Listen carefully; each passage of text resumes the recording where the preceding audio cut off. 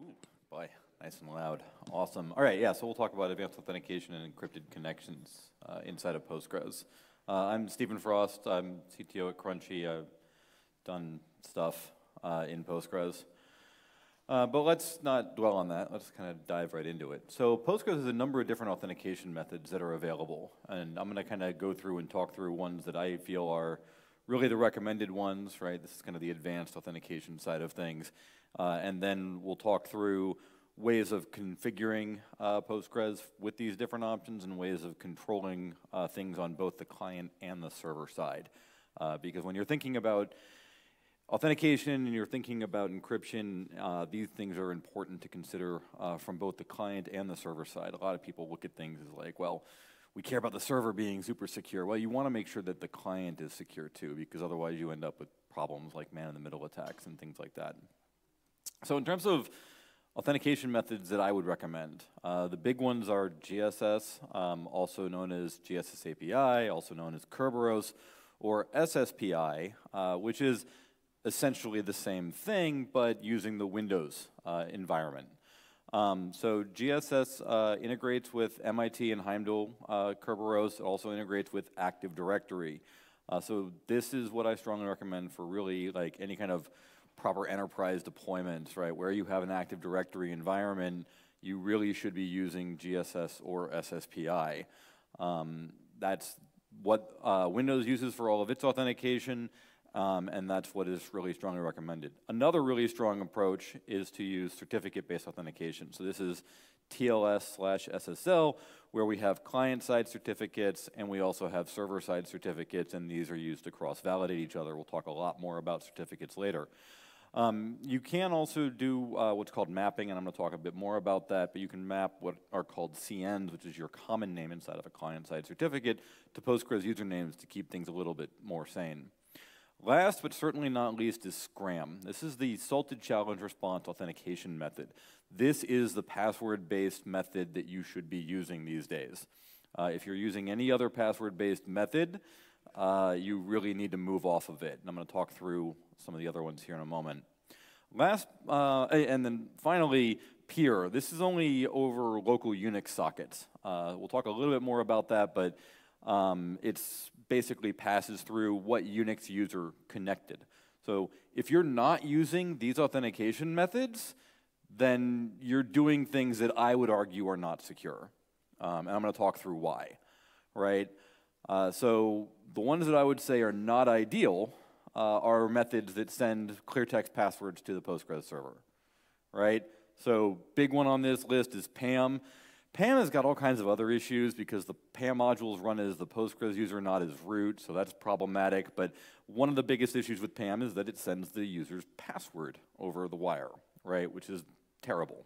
Uh, you can use things like SASL um, to be able to run some of those methods, uh, some of those authentication um, routines that you can get with PAM. Um, obviously, if you're using PAM, you're going to have to be using TLS or SSL in, in order to be able to provide some kind of encryption on the wire. But still, it's a bad idea to send clear text passwords. It's also a bad idea to save clear text passwords uh, on any system. Uh, Radius is another method. It's a little bit better because typically it's used with a one-time password system, but it still is sending that information over the clear uh, to the server, which is not great. So you want to be using SSL here too. Password is your traditional password-based authentication method. Uh, again, sending passwords over the wire is bad, even, in, even through encrypted connections. It is bad to be doing that. Uh, it, is, it is not a, a good thing to do. Now, these are methods that I would strongly, strongly say you should be avoiding. Uh, MD5 is the biggest one, right? It's old, it's deprecated. MD5 is known to have a lot of issues in terms of um, how good a hashing algorithm it is, and you really should just move to Scram right? There's, there's not a lot of reason not to. Um, and it is, uh, you know, Scram is now widely supported in all the different client libraries, and that is really what you should be moving to. Um, MD5 also suffers from something called pass the hash, uh, which is an issue, and so that's another reason to, uh, to avoid it. Um, and what that basically means is that you don't actually need the password. All you need is the hash in order to be able to use, uh, in order to be able to authenticate uh, against the Postgres server. LDAP. Lots of people use LDAP. I don't like it. Um, it uses a simple bind connect to the LDAP server. The way that it does this is that the user's password when they are authenticating is sent to the Postgres server. And the Postgres server then turns around and uses that to, uh, in proxies those credentials, to authenticate to the LDAP server. And you should just be using GSS API instead, or SSPI, depending on if you're on a Windows environment.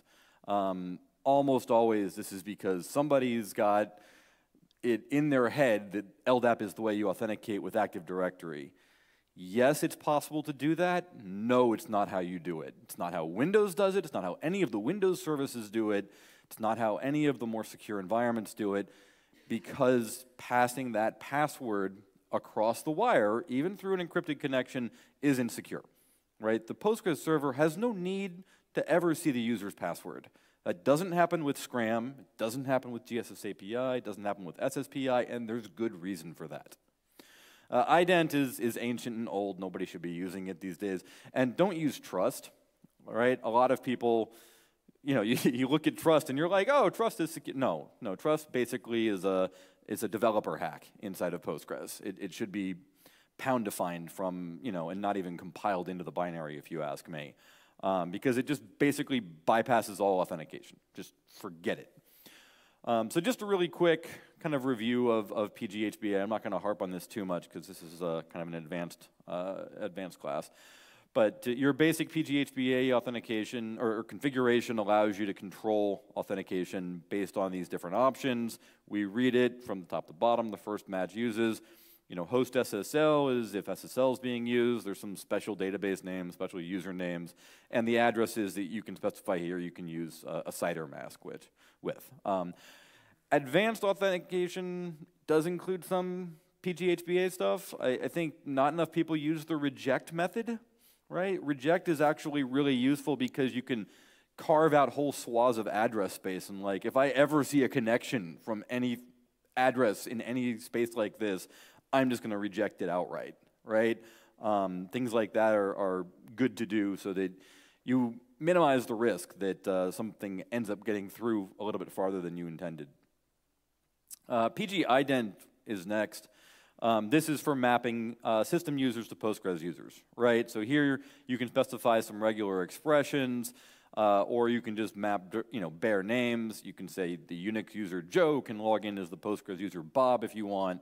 Um, Client-side certificates, so this is uh, your, you know, this would be your CN common name. You can control what that ends up being in the Postgres side of things. And then Kerberos principals are really cool because you can use these regular expressions to say, I want to allow a capture here with this dot star in the regular expression, and then that is replaced with the backslash one to allow you to then uh, authenticate as, as whatever user at that particular realm. Um, you know, into the Postgres system. Uh, you specify what map to use inside of your PGHBA using a map equals and then specify whatever the map name is that you want for that particular PGHBA line. So that's you know a lot about the server kind of side of things. I'm going to talk through a bunch of the client side stuff now. So there's a bunch of client side options that I think people don't consider uh, and don't think about, uh, and they're really important because a lot of the options that we initially have set are meant for more compatibility, not for security. So first option when we're talking about this from libpq is channel binding. So channel binding prevents man-in-the-middle attacks. The way that it does this is that it binds the TLS encryption layer into the Scram exchange. This is only really sensible when we're talking about TLS and Scram. Uh, if you're talking about client-side certificates, if you're talking about GSS API encrypted connections, those things are already handling this for you. Uh, but when you have TLS and Scram, you want to be able to prove both directions. You want the server to be able to prove that it's the real server and that you're actually talking to that server, and you want the client to be able to prove that it's actually the correct client that's being um, authenticated. Uh, and you get that with channel binding. Um, so the options are require, prefer, and disable, and you really want to set this to require on your client when you're using TLS and Scram. This is a, a really big deal in order to prevent those man-in-the-middle attacks. Now, I have people who ask me this sometimes, and they're like, well, what about PG Bouncer? And what about other proxies? And yeah, that's gonna it's gonna not work, right? It's kind of the point because those are man in the middles, right? Um, so if you're using those, it's a bit more complicated to deal with. But um, sorry, right? This is more about security. Uh, those are, are different options for other other op, you know other environments. Maybe you can use those in, but I do recommend using require when you're using TLS and Scram together. A new option in PG16 that I'm really excited about is the require auth libpq option. This allows the client to specify what authentication methods they're okay with, right? Previously, Postgres would just kind of like, well, we're going to ask the server, and the server will tell us whatever they want to tell us. So the server might say, well, I want to use password, clear text password off. Well, sure, an attacker is going to do that because then guess what? That, that attacker is then going to get your password, right? Uh, you can specify multiple methods. Uh, these are the list of valid options. Um, this doesn't really apply for client-side certificates or for GSS API encrypted connections. Um, that's what the none is for. Uh, but recommendation, ideally set it to exactly the auth method that you are expecting to be using here, right? If you're in a Kerberos environment, you should set require auth to GSS or to none if you're using encrypted connections, which obviously you should be if you have the option to. Um, but at least, at least use it to exclude things like password and MD5, right? There's no reason to have those enabled. So, you know, if it was up to me, I would probably have this as the default in Postgres. but it's not up to me. Um, so yeah, as mentioned, none doesn't prevent TLS or, or GSS API, but you can use this to prevent clear text passwords from being sent over to the Postgres server, which is a big, big deal and something I strongly recommend everybody do. All right, I'm going to talk through a few other options here. Uh, so CRLs certificate revocation lists. When you're using TLS or, or SSL, you're using some kind of certificate authority. That certificate authority should be publishing a CRL, a list of certificates that are no longer valid, no longer trusted. You should be downloading that and using it. Strongly recommend that you set SSL CRL to a maintained and regularly updated CRL. Other options exist like OCSP. Um, there are upsides and downsides to using it. O OCSP is a way of actually, the server can reach out and check with a uh, CA to see whether or not the certificate that's being presented has been rejected or not. But at least have a CRL uh, or use uh, the SSL CRL dir, uh, which is a way of having a directory of CRLs uh, that you can have specified so that uh, OpenSSL can go look up and see if there's anything there that it, if the certificate should be rejected. The next one is, again, this is client side, SSL mode. SSL mode has a whole bunch of different crazy options, and there's only one that you should use, and that is verify full, right? Um, the options for you know allow, prefer, require, verify CA, none of those actually make sure that the certificate presented by the server matches the host that you're trying to connect to. This is a big deal. You want to verify that the host you're connecting to is giving you the certificate that you're expecting. If it's not presenting the certificate you're expecting, things should blow up. there should be a big warning saying, hey, no, that's not the right cert. This is a problem. Strongly recommend setting uh, SSL mode to, uh, to verify full. It's kind of an interesting one because it also has require, but require doesn't do what verify full does. So you really want to be using verify full for SSL mode. Um, now in new in 16, there's also an SSL cert mode, uh, which allows the client to choose whether or not to send a client certificate. Um, I, I, do recommend setting this to require when you're using client-side certificates, but it doesn't really provide any proper additional security because the server can just ignore it. Um, but it's a, it's a new feature in 16, so people might be interested in it. Require peer. Um, this is only valid if you're on like a Unix system and you're connecting uh, using the peer authentication method. But this basically says, I want to actually connect to the Postgres server. I don't want to connect to some random socket that some other person has dropped into a directory that maybe they're trying to use to get my information or perform some kind of man-in-the-middle attack over sockets. Um, of course, the recommendation here is set it to Postgres or whatever the OS user that Postgres is running as. A lot of this is addressed through directory permissions. Most distributions will actually put the socket into a secure directory um, that only the Postgres user has write access to. That's fantastic. Still a good thing to do is set require peer when you're using peer authentication. Uh, similar to the SSL mode, there is a GSS ENC mode, uh, which allows the client to require that GSS API encryption be used. Um, of course, if you're using GSS API, my recommendation is set this to require so that on the client you are actually forcing it to go and use encryption over, you know, with GSS API when connecting to Postgres. Okay, so now let's talk a little bit about these authentication methods. In particular, we're going to talk a good bit about Kerberos, and then we're going to talk a good bit about TLS and SSL, because those are the methods that provide encrypted connections to Postgres. So how does Kerberos work? Kerberos works by having what's called a KDC. Um, in Active Directory, this is your domain controller, right? Um, and I'll talk a bit more about that in a second. You then have ticket granting tickets. So as soon as you log into a post er, into a Windows environment, you get a ticket granting ticket.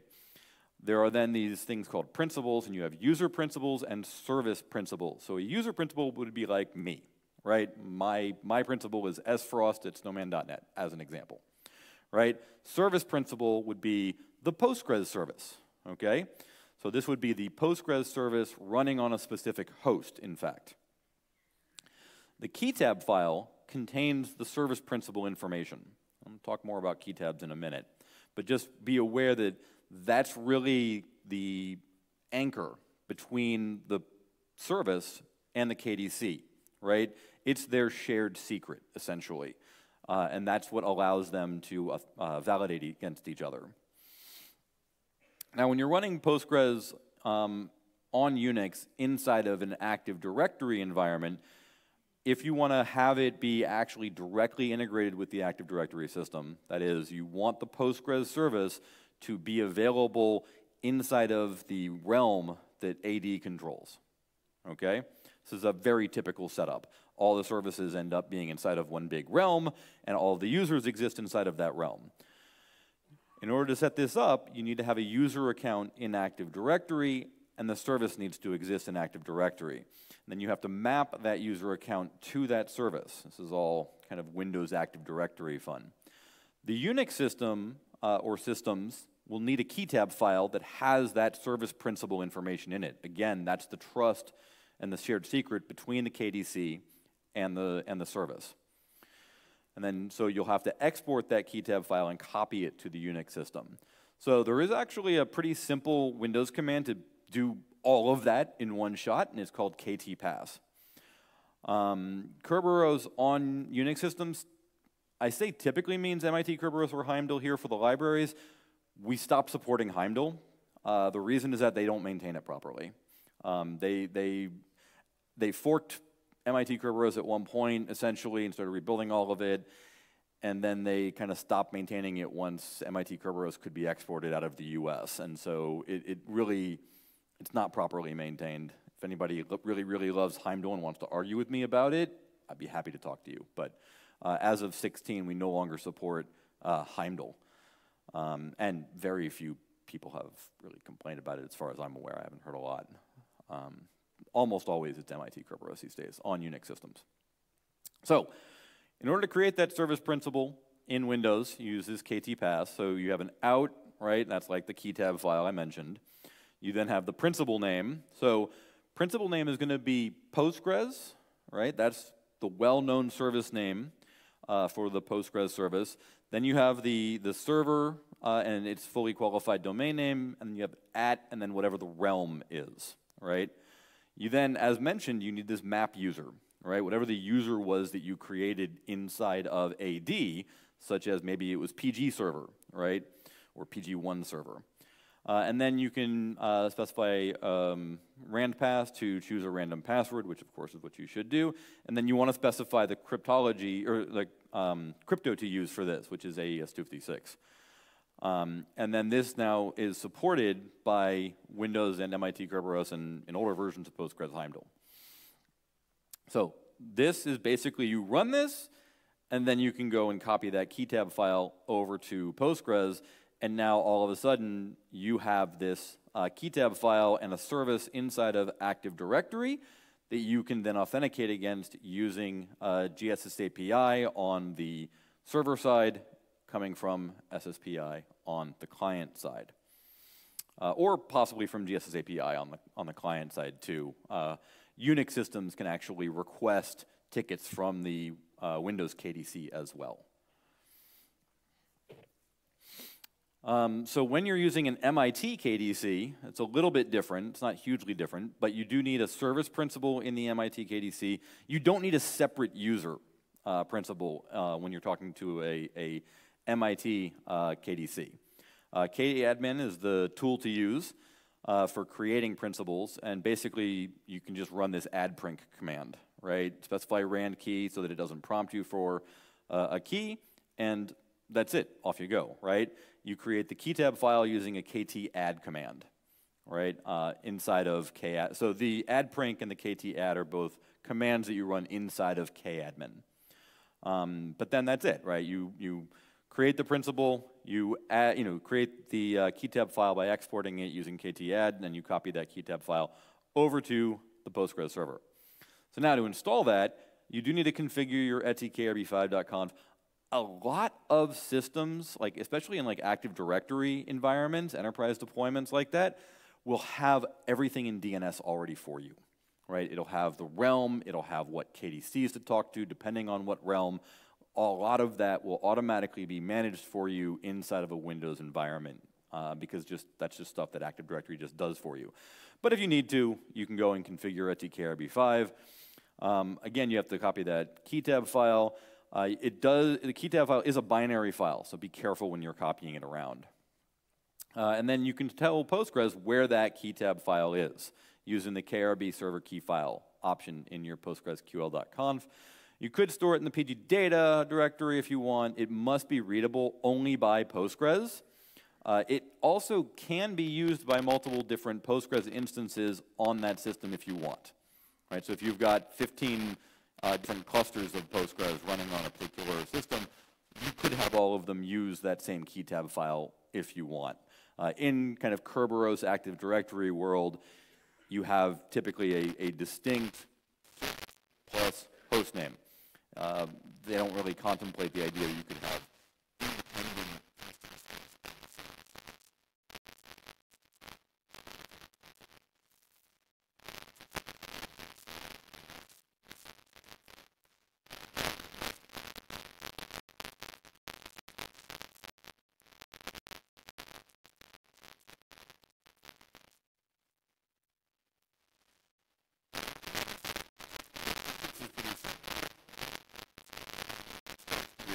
GSS. With the server on a Windows platform, you say SSPI. And I'll talk a little bit more about if you're running Windows uh, and you're running Postgres on Windows. I'll talk a bit more about that in a bit because uh, there's a few things that are a little bit different. All right, so now let's talk a little bit about GSS API encryption. So this was added into Postgres 12. Uh, it's only currently supported for cases where the client and the server are both using uh, GSS API. Uh, it will work with keys provided by an Active Directory environment, um, but it won't work if you're coming from an SSPI system. So if you're coming from Windows going to uh, a Unix system, today that support doesn't exist. There's no reason why it can't work, right? Um, it's just somebody needs to go write that code, and I haven't gotten to it yet. Um, if you're interested in having that, definitely come and talk to me though. Uh, in your PGHBA, you can specify that uh, connections must be using GSS encryption by saying host GSS ENC. So that will only match connections that are coming in over uh, encrypted GSS connection. Um, you can specify the inverse of that too if you have any particular reason to.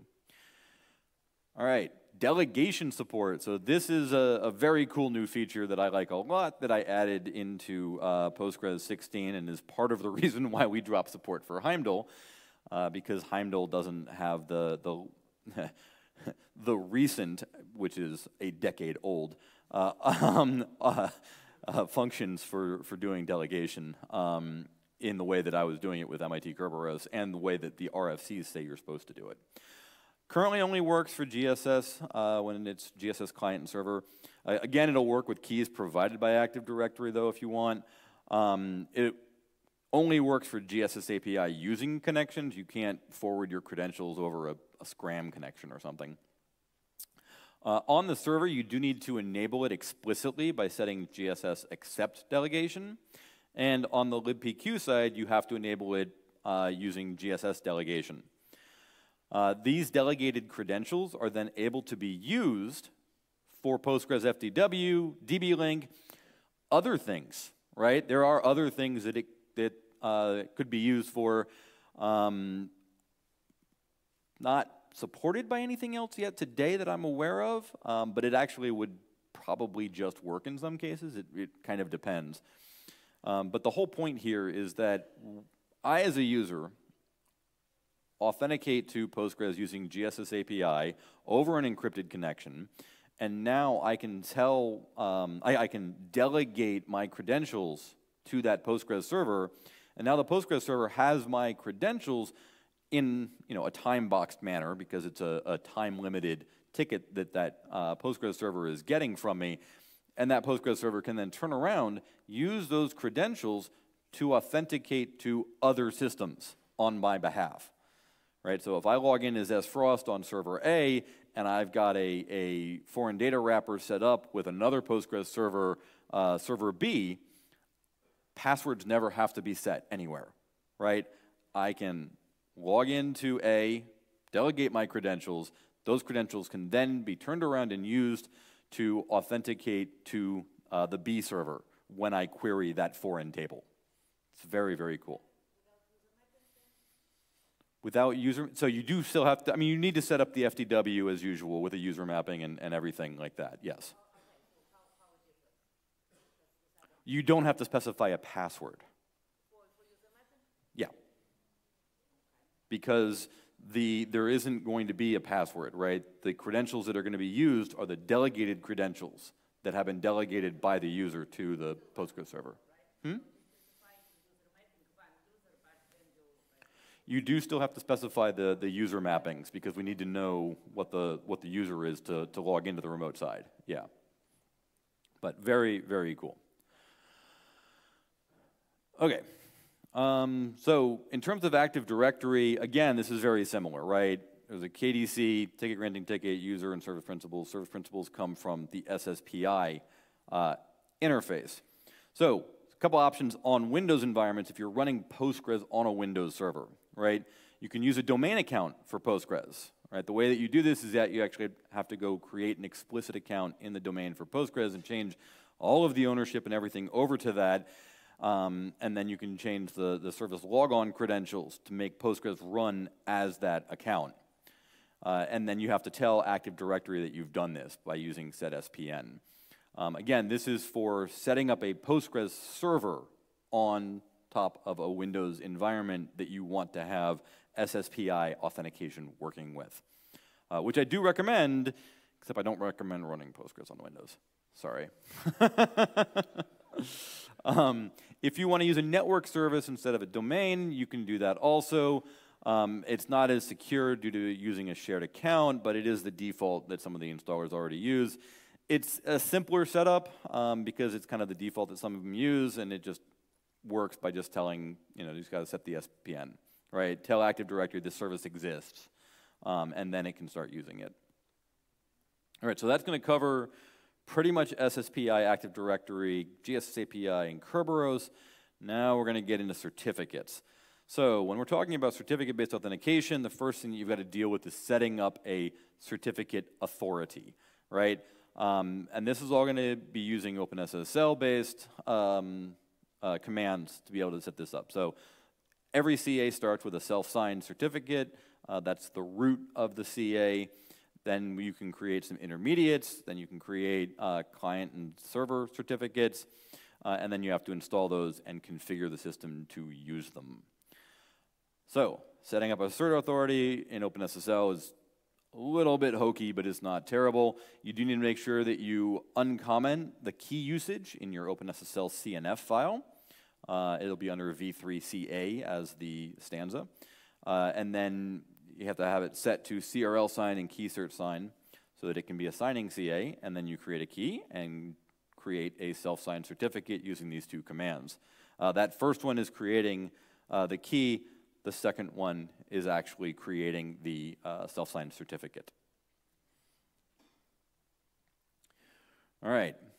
Next, we're going to create some intermediate CAs. This is very typical in larger environments. When you have uh, a certificate-based um, authentication, you have intermediate certificate authorities so that the root CA is hardly ever used, right? You go put that into some big vault somewhere. Um, so the way you do that is that you have to create a key for it, and then you create a certificate signing request for the root CA to then sign. Um, and then after that, you can create the uh, server intermediate uh, certificate by signing with the CA certificate. So, first one generates the key for the server side intermediate. Um, so we're creating two intermediates, right? We're creating an intermediate that's going to sign that's going to be used for signing Postgres server certificates. We're going to have an intermediate that's going to be used for signing client side certificates, just so people are, are clear on what we're doing here. Um, so after we create the server intermediate key, we then create the request, the, the CSR, and then the uh, certificate, that's a certificate signing request, and then the CSR is then used to uh, create the actual certificate for the server by having the root CA sign that uh, CSR uh, and generate the server certificate. So now I have a root CA, I have a server intermediate CA. Next, I'm going to set up same thing, but on the client. Uh, right, so I'm going to create a client intermediate CA. Same basic thing, right? Create the key, uh, create a certificate signing request, have that signed by the root CA. Now we're going to go create the actual server certificate, right? And this is going to create a key, create a CSR, and then we're going to sign it using the intermediate server. So now I've got three levels, right? I've got root, I've got server intermediate, and I've got the server certificate. And the server certificate is what's going to actually be given to Postgres, along with uh, the, the intermediates uh, and the root as necessary. Uh, same thing, but on the client side here, we're going to create the client certificate and a CSR for it. And again, we're going to sign that CSR using the intermediate client certificate authority. Okay, so now we've got all of that boilerplate OpenSSL magic out of the way for anybody who wants to try to set this up on their own. A lot of times, if you're working inside of an enterprise, the enterprise, if they're doing SSL and TLS and certificates, they're going to have all of this all figured out for you already, right? You could just tell your certificate authority for your enterprise, I need a cert for this box, and they'll be like, here's your cert and your key. But this allows you to have a play-by-play -play for how to do it yourself. So how does this all work, right? So SSL is based on public key uh, cryptography. Um, certificates are these public documents that are signed by a trusted third party. Each certificate has a key, right? And if you have the key, you can prove that you are who you claim you are, right? Or who the certificate claims you are, right? Again, as mentioned, I have a root CA, intermediate CA, and then a client, or sorry, two intermediate CAs, and then a, a server certificate and a client certificate. All right, now let's talk about setting Postgres up with all this, right? So you need to put the, the certificates and the keys in place. You do need to provide the root CA. So Postgres, the way that this all works, just for, for people have an understanding, right, is that the Postgres server needs a certificate to trust, right? That is the root CA, okay? And then it also needs to be able to prove to the client, right, that's connecting that it is a trusted system and it may need to provide the client with the intermediate CAs to lead all the way back up to the root. Okay? The client is the same way, right? The client needs to have the trusted root CA anchor, that's the CA that it trusts, and then it when it needs to prove that the client certificate is valid, it needs to include with the client certificate any intermediate CAs that the server may not be aware of. Okay? And so the way that this is done is you copy the, the server certificate into place, you copy the server key into place. Of course, the server key needs to be, have appropriate permissions on it. And then you need to create this uh, server certificate file, right? Sorry, you need to copy the CA certificate, the server key, and then create the certificate file. And that is done by combining the server certificate, right? This is what's going to be sent to the client, any intermediate CAs that are needed to get from the server certificate up to the trusted root, and then you can include the trusted root as well. It's not strictly necessary, but I usually do anyway, so that you have a complete chain. So you combine all of those very simple by catting them together, and then you drop it into place. And then when the client connects, we're going to send them this server CRT file, right? Because that is going to prove to the client who has a copy of the CA independently that our certificate is signed by a CA that they trust. A couple other parameters, right? You just need to set SSL true, set SSL cert file, and uh, set SSL key file, and then SSL CA file. Now, again, the SSL cert file, that's what Postgres will send to the client. The key file is the server's key, and the CA file is the trusted root certificate. All right, and when you're setting this up, if you want to use client-side certificate, you would use host SSL uh, that will only match uh, SSL encrypted connections, and cert is what you would use for saying to Postgres, hey, authentic, uh, the authentication method here is client-side certificates. You can also do client-side certificates with Scram as well, if you want, um, and you can specify that by saying Scram and then client cert equals one, there are a couple of uh, new options in 12, um, which are even better. And again, as always, I would say you should be using Verify Full. Um, these are similar to the SSL mode options. Um, so you really want to use Verify Full to make sure you get uh, full verification um, that the certificate is the correct one that's being presented, and not just any. Okay, now on the client side, we also need to do something similar, right? We need the root CA, right? That's who, what the client is going to trust. We need the client's key, right? And then we need to put the certificates into the cert file. Uh, I say order matters here. This is, this is the case, I think it was TLS 1.1, uh, and then 1.2, I think, is where they allowed uh, it to vary. But uh, yeah, if you're running older systems, make sure you get the ordering correct. Um, it's less of an issue on, on more modern systems. Uh, but again, the, the cert here is what the client is going to present to the server.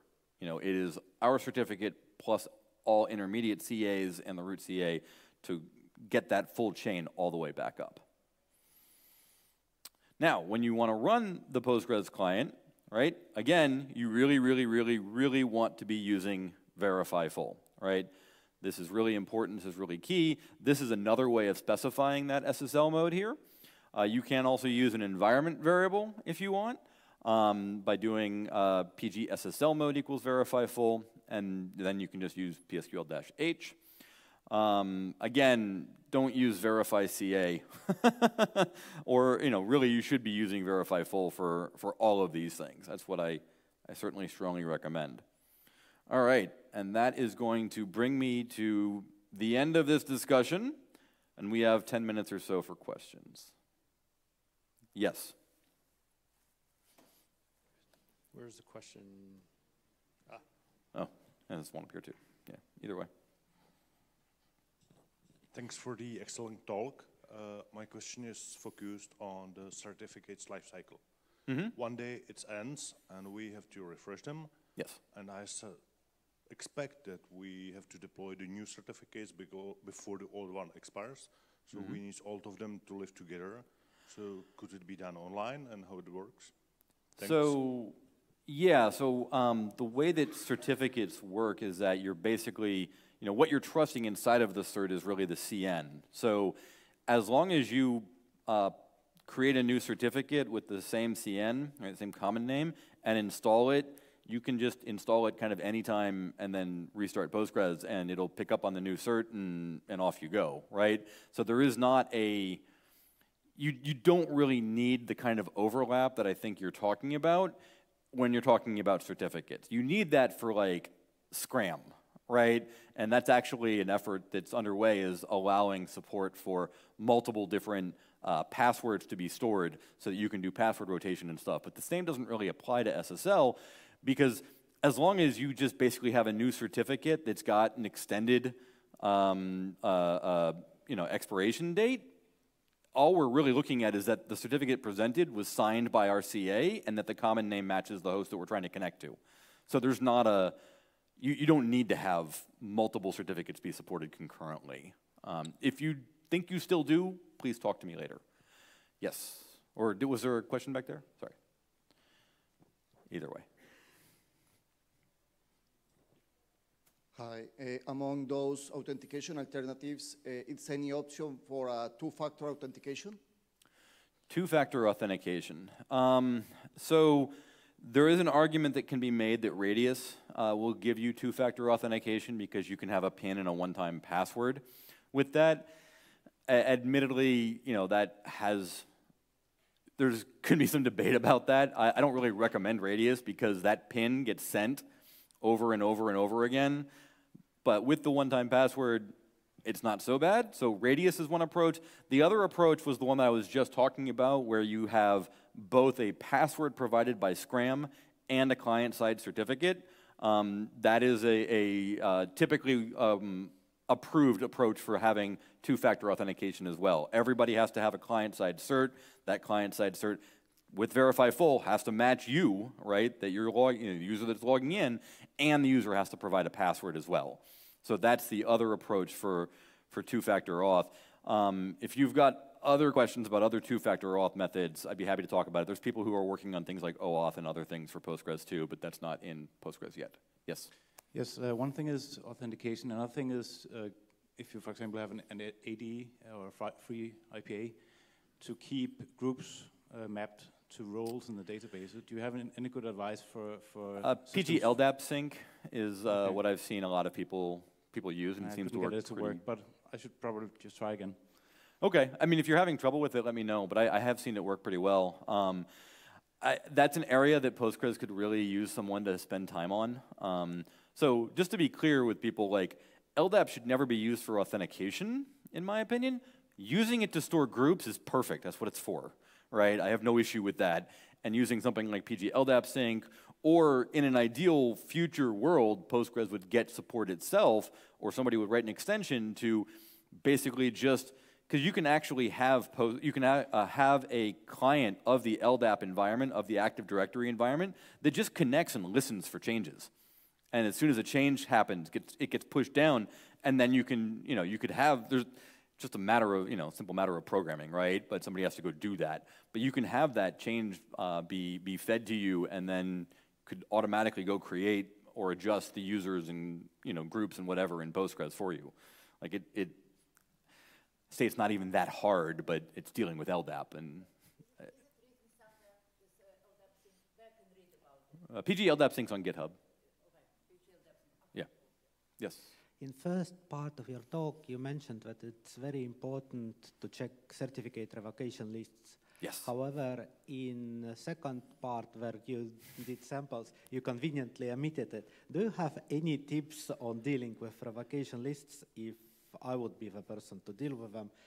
For example, I don't want to use cloud provider managed service or no one else in my organization currently provides so OpenSSL does have support for generating CRLs and, and all of that. I, I didn't want to get into, there was enough OpenSSL commands here. um, but yes, absolutely, you should uh, look into the OpenSSL documentation and figure out how to use, you know, how to create CRLs with OpenSSL so that you can have a, a, a CRL in place. Um, I, I don't, I, am not going to go into all of how you do that here, but it is, it is something that OpenSSL supports. Yes two simple questions with hopefully short answers. JDBC clients and cron jobs. Okay, so What I think you're talking about eh, with regard to, I'll take the second one first. With regard to cron jobs, if the concern is about having Kerberos tickets that are renewed ongoing, K5 Start is your friend, right? K5 Start is the tool to use. Uh, you can provide it with a key tab file, and it will just constantly renew uh, the tickets, um, provided the, the KDC allows it to, right? But as long as that is still a valid principal, it'll keep renewing it forever, and it works great. So no issue with that. JDBC also supports Kerberos um, and GSSAPI authentication. Um, not sure what else you had about JDBC, but it does support Kerberos. Okay. Yes. Right. Time for one or two more questions? Yeah, I got one up here. I thought about including JDBC, but I had enough stuff in this talk already. Yeah, To go back to the uh, to LDAP again, to the, Uh, uh, to to LDAP. LDAP, yeah. um, I guess what you're saying is that LDAP should never uh, authenticate users, but you can use it to authorize access. Yes, that would be, that would be correct. You can use it to gain the information for auth- authorization, right, such as group membership and things, but you should not be using LDAP as the auth method inside of Postgres, because if you do that, the user's password gets sent in the clear to the Postgres server, which is bad. Yes, down here in front?